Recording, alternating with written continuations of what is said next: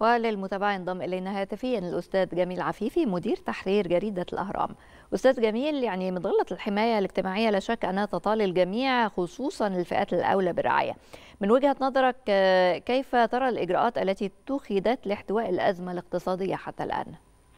هو طبعا في ظل الأزمة الاقتصادية اللي إحنا شفناها في الوقت الحالي ومن قبلها طبعا أزمة كورونا كان هناك العديد من القرارات اللي اتخذتها الدولة ل تخفيف العبء على المواطنين. يعني شفنا وقت أزمة كورونا كان هناك العديد من المبادرات طبعا أهمها طبعا العاملين المؤقتين في أماكن كثيرة تم دعمهم بمبالغ مالية وأيضا على الجانب الآخر.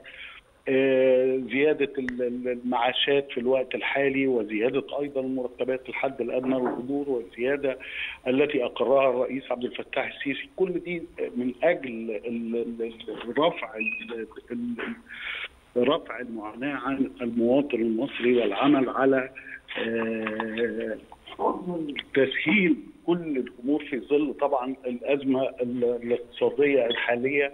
ومن قبلها طبعا أزمة كورونا. هناك العديد من المبادرات نفذتها الدولة وهناك أيضا العديد من القرارات اللي اتخذتها الدولة في هذا الإطار كلها الهدف منها رفع المعاناة عن المواطن المصري في ظل طبعا الأزمة الاقتصادية العالمية. نعم. طيب بالأرقام إنفاق الدولة 490 مليار جنيه في برامج الحماية الاجتماعية للعام المالي الحالي. علام يدل هذا الرقم مقارنة بالأعوام الماضية. لا هو طبعا يدل على إن الدولة بتقف وبتزيد من دعمها للمواطن المصري في الوقت الحالي بتعمل على زي ما بقول لحضرتك في ظل الأزمة الاقتصادية العالمية اللي بيمر بها العالم في الوقت الحالي الدولة المصرية بتقف بجانب المواطن المصري بتسعى إلى تقديم كل الدعم له الدعم المادي والدعم المعنوي أيضا والدعم في كل المجالات في الوقت الحالي مع توفير أيضا العمل على توفير فرص عمل في المشروعات القومية الكبرى للشباب في الوقت الحالي. أيضا كل ده في ظل الحماية الاجتماعية. أيضا مبادرة حياة كريمة وما تقدمه مبادرة حياة كريمة للمواطنين في كل المحافظات المصرية لتخفيف الأعباء عن المواطن المصري. كل ده طبعا إحنا شايفينه في الريف المصري وما يقدم في الريف المصري ومحاولة خلق فرص عمل وخلق أيضا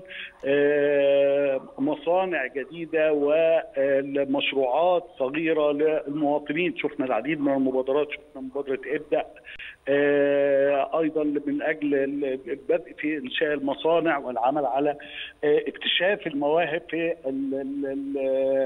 القرى والريف المصري من أجل طبعا العمل على هذه المواهب إن هو يتم تسهيل العمل ليهم والبدء في إنشاء مشروعات صغيرة وإن هم يستفيدوا من مواهبهم في عمليات التجارة. كل ده هيزيد من دخلهم إذا الدولة على كافة المستويات من خلال الدعم المادي العيني ومن خلال أيضا الدعم اللا مباشر اللي مش مباشر اللي هو من أجل خلق فرص عمل وتوفير فرص عمل للمواطنين في الوقت الحالي. نعم، أشكرك جزيلا الأستاذ جميل عفيفي مدير تحرير جريدة الأهرام.